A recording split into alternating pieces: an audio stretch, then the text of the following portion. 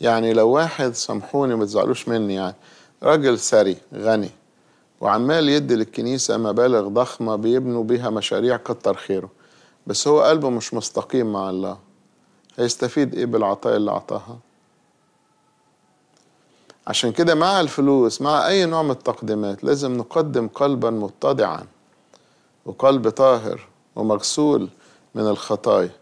ليه؟ لأن الكتاب قال ذبيحة الأشرار مكرهة الرب. مش حال بقى لو قدمها بغش. عشان كده قوانين الكنيسة تمنع قبول الهراطقة قرابين الهراطقة والأشرار. وقلت لكم قبل كده لو واحد بيتربح من حاجة غلط الكنيسة لا تقبل عطاياه. لو هو طبعا عايز يخلص ضميره وغافل الكنيسة وده طبعا حاطط فلوس في الصندوق. محدش هيمنعه.